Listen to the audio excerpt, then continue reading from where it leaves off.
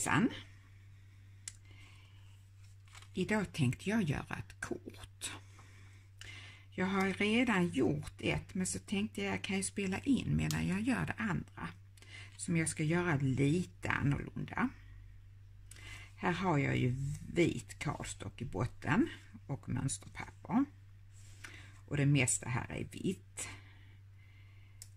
Eh, det jag har använt är papper från 13 Arts och till det kortet har jag använt detta med den mörkare tonen i botten och den kommer jag att använda till mitt andra kort som jag ska göra också.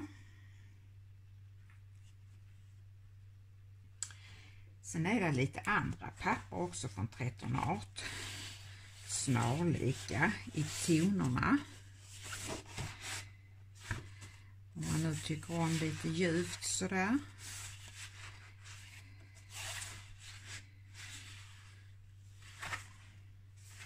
Väldigt fina.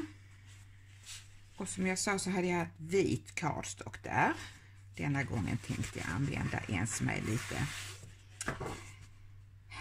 ja vad är den? Rosa, mörk rosa mot vinröd. Det är roligt att göra eh, typ samma kort fast med, med annat kardstock i botten. För då ser man hur mycket kardstockets färg påverkar hur man upplever kortet och papperna.